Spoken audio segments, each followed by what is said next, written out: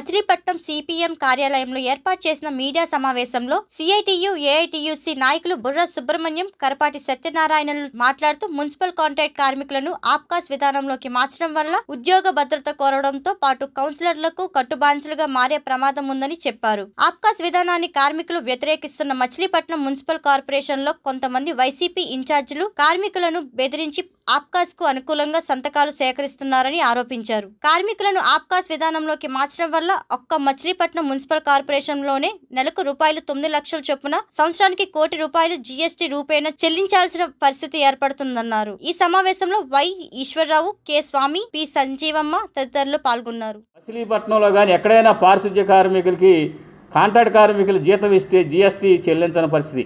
కానీ ఆప్కాస్ విధానంలో ఈరోజు చేర్చడం వల్ల మచిలీపట్నానికి సంబంధించి జీతం కాకుండా జీఎస్టీ రూపంలో నెలకి తొమ్మిది లక్షల రూపాయలు జీఎస్టీ కట్టాల్సిన పరిస్థితి. అంటే ఈ మచిలీపట్నం మున్సిపాలిటీ మరి సంవత్సరానికి కోటి రూపాయలు జీఎస్టీ కట్టాల్సిన పరిస్థితి.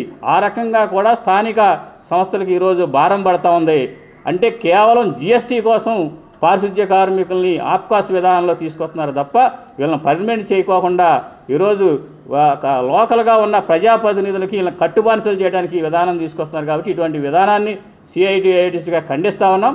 భవిష్యత్తులో వీళ్ళు రెగ్యులర్ చేయకపోతే రేపు రాష్ట్ర వ్యాప్తంగా కూడా ఆందోళన చేయడానికి మరి సంఘాలు సిద్ధమవుతాయని ఈ సందర్భంగా జగన్మోహన్ రెడ్డి గారు వస్తే ఈ మున్సిపాలిటీలో ఉన్నటువంటి ఈ కాంట్రాక్టు హౌస్ స్టోరింగ్ సిబ్బందిని మొత్తం కూడా జీవితాలు మాలు మొత్తం కూడా మారే అవకాశం ఉంది. ఎందుకంటే వైఎస్ జగన్మోహన్ వైఎస్ రాజశేఖర రెడ్డి గారు అయ్యాలో పర్మనెంట్ వర్కర్సు పెన్షనర్స్ కానీ ఉద్యోగులు కానీ అనేక రకాలు ఇబ్బందులు పడినప్పటికీ జీరో వన్ జీరోకి వెళ్ళిన తర్వాత వాళ్ళు ఒక జీవితాలు మెరుగుపడింది వాళ్ళకు పట్టుడు అన్నం తినగలుగుతున్నారంటే రాజశేఖర రెడ్డి గారు. అదే స్థితిలో వాళ్ళ జగన్మోహన్ రెడ్డి గారు కూడా ఈ కాంట్రాక్ట్ హౌస్ సిబ్బందిని ఈ పారిశుద్ధ్య కార్మికులందరినీ కూడా రెగ్యులర్ చేస్తానని చెప్పి అయితే ఎప్పుడైతే వాగ్దానం చేశారో మంచి రోజులు ఈ రకంగా ఏర్పడిందని అనుకున్నాము.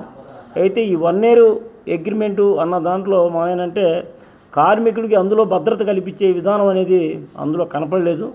ఎందుకంటే ఈతన పని విధానం బాగుంటే వచ్చే సంవత్సరం మాలేనంటే మళ్ళీ తీసుకుంటారు.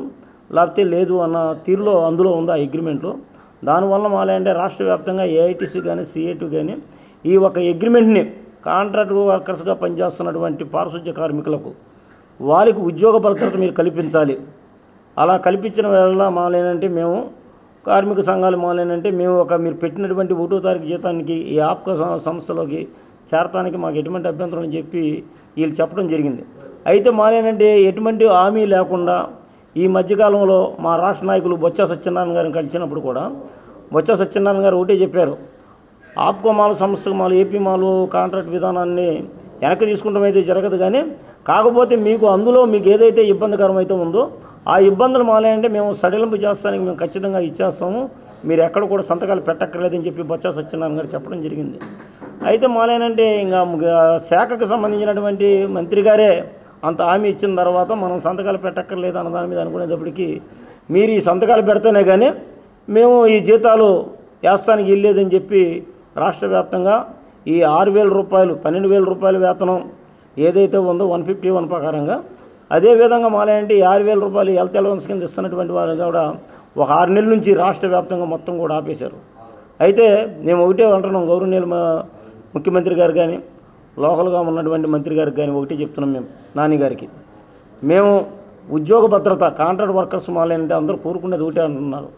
మేము తెల్లారి లేస్తే మాకేంటంటే కష్టపడతామే తెలుసు తప్ప మాలేంటి అనేక రకాలుగా. అయితే కార్మిక సంఘాలు ఈయనను లేకపోతే మీకు జరగదా అన్న తీరులో కొంతమంది ఇన్ఛార్జిగా ఉన్నటువంటి వ్యక్తులు మాట్లాడుతున్నారు.